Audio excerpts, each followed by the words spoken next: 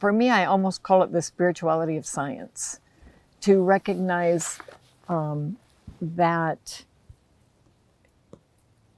ancient Christian traditions talk about two books of, of Revelation, that God had two books of Revelation. The first is the earth, and the second is Scripture.